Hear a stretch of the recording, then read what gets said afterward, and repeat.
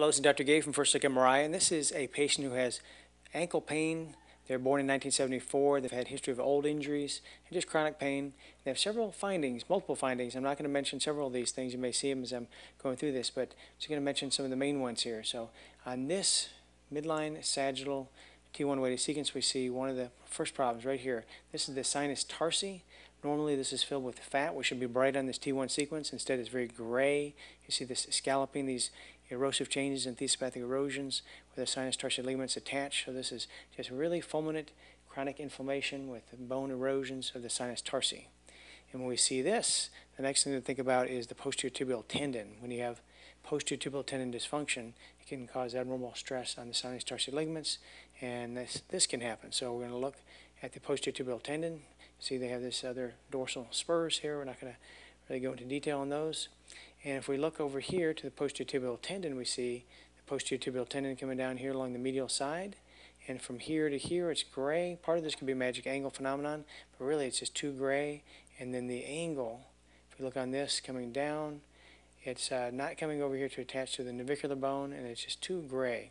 There's a little area here. This could be a little uh, accessory navicular ossification, or it could be a little old avulsion right there and I'm going to put up the axial images. These can be very hard because you get magic angle phenomenon here. This can fan out normally and have gray signal on the T1 weighted images, and some people will call it tear. It's not there because this can normally have some increased signal, but this is just too much signal, and again, if you follow that line down, it looks like it's not going towards it. Now here we're on the axial images here. This is the posterior tibial tendon. As a PTT comes down here, we see there's gray signal deep to it, which is not normal. That's a spring ligament. Looks like it's partially torn or uh, chronically thickened. And this is the posterior tibial tendon coming down to its insertion. And right here at the insertion, this big glob of gray signal is abnormal. It's just too much. If you had just a little bit and it fanned out, it'd be fine, but this is too much. And also that spring ligament thickening underneath it is another sign of posterior tibial tendon dysfunction. So this is coming down, we never really see it attach well to the navicular bone. Looks like this is the last image where it's really dark and it becomes really gray. So a prominent partial thickness tear of the posterior tibial tendon. I don't see any fluid-filled gap, but uh, definitely a problem. And then when that happens, it gets uh, causes abnormal stress on two things. One, the spring ligament here that's thick, and also the sinus tarsi ligaments here, which are diffusely inflamed. Now this patient also has some prominence of that middle subtalar joint. You may notice this. Looks like it's too prominent we look on the sagittal images here, if we go medially, here's the middle subtalar joint.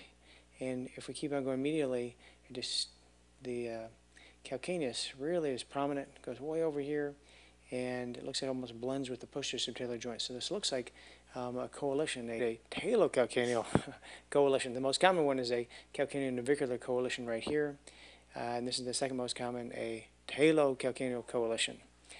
And we can see this on the coronal images. If you wonder, look on the coronal images and see does this look too broad over here? Sometimes it's just incredibly obvious on this. It'll really poke out a lot. This looks like it is too broad. So it's maybe a coalition.